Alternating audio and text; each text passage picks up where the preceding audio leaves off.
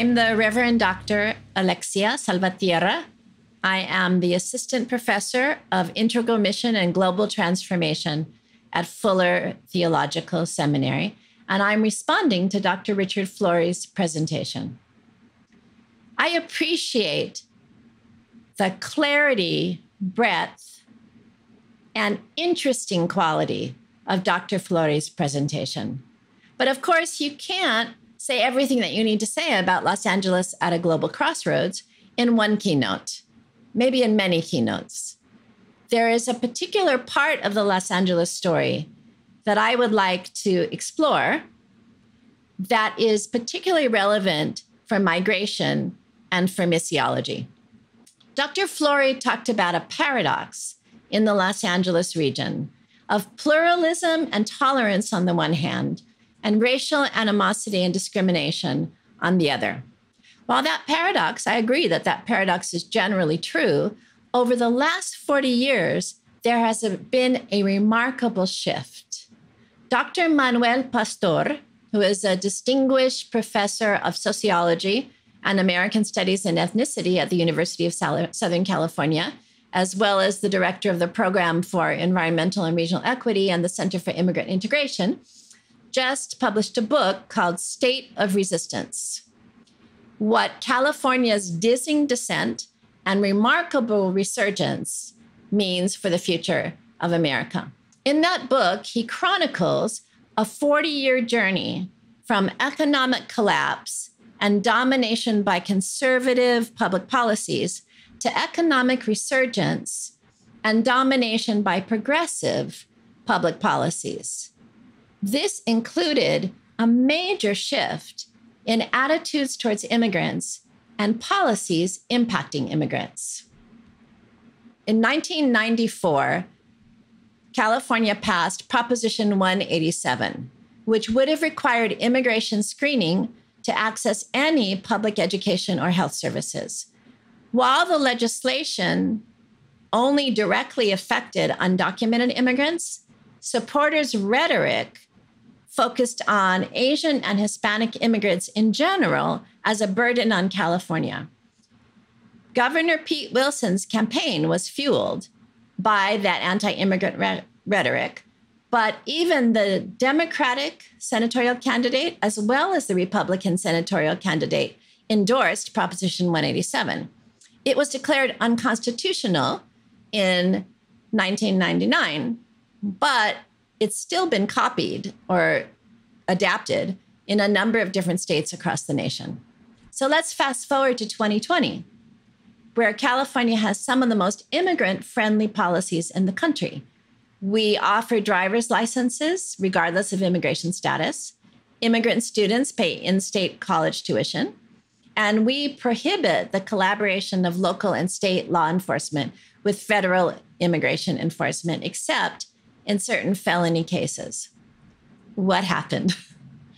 Well, Dr. Pastor says even though there were some external factors, including a wise governor, Jerry Brown, that this could not have happened without well organized social movements, primarily led by immigrants and people of color. And the picture you see there is a photo of the 500,000 people marching for immigration reform in 2006 in central Los Angeles. Dr. Pastor identifies four characteristics of these movements that made them successful. The first one is the ability to work together effectively across sectors and ethnic communities to build an ecosystem for change. Secondly, the movement was pragmatic and realistic. It intentionally included conservative areas and it integrated voter engagement. So, not just going to voters when there was an election, but involving people in civic participation year round. Although it was a statewide movement, the, some of the most creative leaders in the movement were in Los Angeles. Um, you see here a picture of State Senator Maria Elena Durazo. She was the first Latina to run a major labor union local, and then she was the head of the Los Angeles County Federation of Labor. And in both those positions, she was deeply committed to coalition building and to immigrant rights. The other picture is the Reverend Dr. James M. Lawson Jr. Dr. King called Dr. Lawson his theologian of nonviolence because he was the primary architect of the theory and practice of nonviolence in the broader civil rights movement. But he was a major leader in these movements in LA. In 2007, I was the executive director of Clergy and Laity United for Economic Justice, an interfaith network of faith leaders and congregations committed to support low wage workers in their struggles for economic justice. I was invited to a meeting with a delegation of the major representatives of the major philanthropic foundations in the country, all of them in the Northeast. They had come to California to see what they were calling the Los Angeles miracle. They wanted to know how we had turned the region around. So, why Los Angeles? I want to go back to um, why did this happen in Los Angeles? Is there something about Los Angeles that made this possible? I want to go back to some of what Dr. Flory was talking about. He talked about Los Angeles as a place to start over. So, many of the leaders of these movements were new leaders we were reinventing ourselves and each other and the region in the process. In comparison, in the northeast of the country, social change organizations often have rivalries that go back 100 years. There were no ancient turf wars in Los Angeles to keep us apart. Secondly, Dr. Flory talked about how this region is known for cultural creativity and innovation. And I think that as a movement, we were very comfortable with being polycultural because of this. And we were very comfortable with creating new models. He talks about pluralism. And we were also very comfortable with being polycentric, having a wide variety of leaders that work together.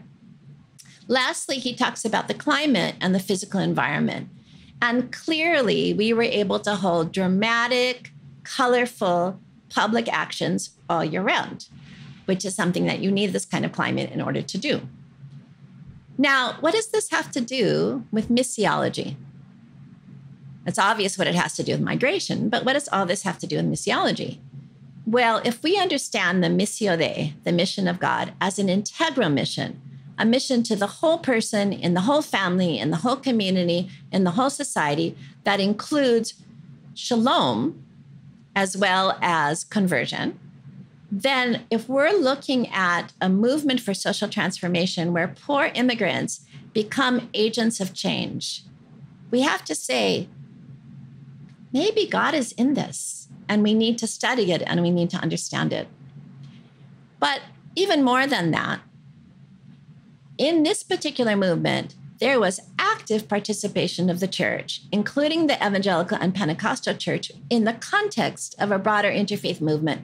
And the little picture here is a book that was written about Clue um, by actually by another USC professor at the time. Although I do want to say that Clue was not the only player. We had two strong congregational based organizing networks, one from the Industrial Areas Foundation and one from PICO we had very creative smaller groups like Korean Churches United for Community Development and La, La Red de Pastores Tesoro de California, which when it started in 2006 had 1,200 Hispanic, evangelical, and Pentecostal congregations in the Los Angeles region involved in immigration reform.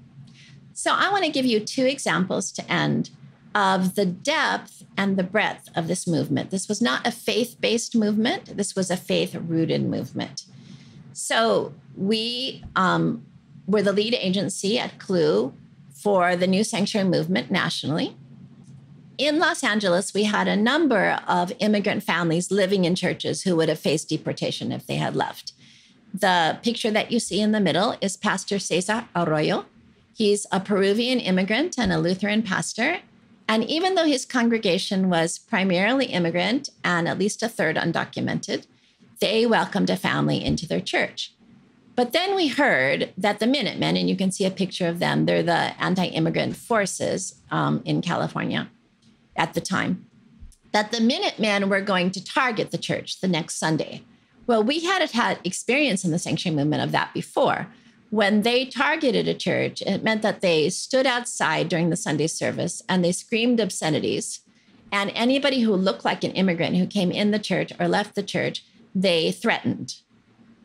So Pastor Arroyo, with a lot of sadness, told his congregation that they did not have to come to church. the next Sunday. So the whole sanctuary movement came.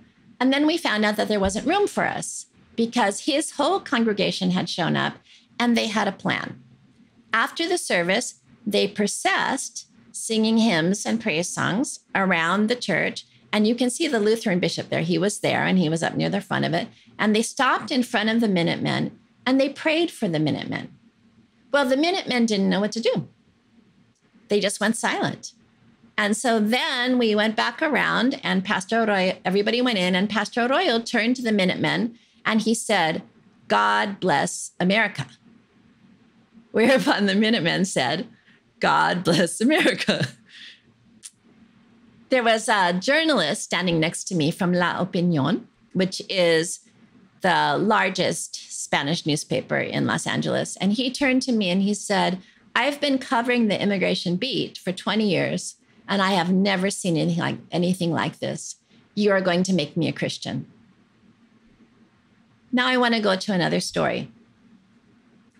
Um, we, one of the programs that Clue had is that we built the Loving the Stranger Coalition in Orange County, which engaged four primarily white evangelical megachurches and two ethnic specific evangelical mega churches and a number of other churches. It was a coalition to work on immigration reform. So, after we had done that, um, we realized that the whole movement was facing a challenge, which Dr. Pastor talks about, which was the tension between African American and Hispanic immigrants, leadership, and communities in Los Angeles. So we decided to build the Black Brown Pastors Coalition. And we decided to kick it off with an event on the anniversary of the LA riots. The two anchor churches in this event were West Angeles Church of God in Christ with 18,000 members Bishop Blake, who was the lead pastor, senior pastor, was also the prelate nationally of the Church of God in Christ. Iglesia de Restauracion, which came out of the denomination Elim, which is one of the largest Pentecostal denominations in Central America, was pastored by Rene Molina, who fulfilled the function of a bishop for all the Elim churches for Southern California. So we started at Iglesia de Restauracion with a press conference that we called For All Our Families and we had a banner up with John 17, 21, that the world will know that Jesus has come because of the unity of his followers. And we talked about immigration and we talked about criminal justice and we talked about education. Then we had a worship service inside Iglesia de Restauracion where Bishop Blake preached and a combined praise team, you know, filled the house. Uh, then we processed down Crenshaw Boulevard, which is the main artery. And we stopped and we had an open revival service where we invited the whole community to come with us. By the time we got to West Angeles Church of God in Christ, we filled the cathedral. Um, Rene Molina preached there, and the same praise team raised the roof. As we were leaving, I was translating between African American and Hispanic immigrant participants. And what they were saying to each other is that they would never enter the grocery store, they would never enter the laundromat in the same way because they would never know who were brothers and sisters that had been with them that night. The stories that I've been telling you are the stories of the church's engagement in the mission of God for shalom in the Los Angeles story. Fuller is a global seminary, and yet we are well aware that we are located, as Dr. Flory talks about, in a place and a culture. And we know that that's a gift. So uh, while we continue to be a global seminary, we also try to take advantage of that gift. So currently, the diplomado in la respuesta de la iglesia a la crisis migratoria is a professional certificate program for Hispanic pastors and leaders in the church's response to the immigration crisis in the diplomado from the beginning, we worked in partnership with Matthew 25, Mateo 25, which is a network of primarily evangelical churches in the Los Angeles region, immigrant and non immigrant churches working together. And that partnership is a great source of mutual enrichment for Fuller and for Matthew 25, Mateo 25. So as we go into this, on into these missiology lectures, we wanted to kick off with this vision of how we hold together the global and the local in a way that takes full advantage of the gifts of place and culture. Thank you.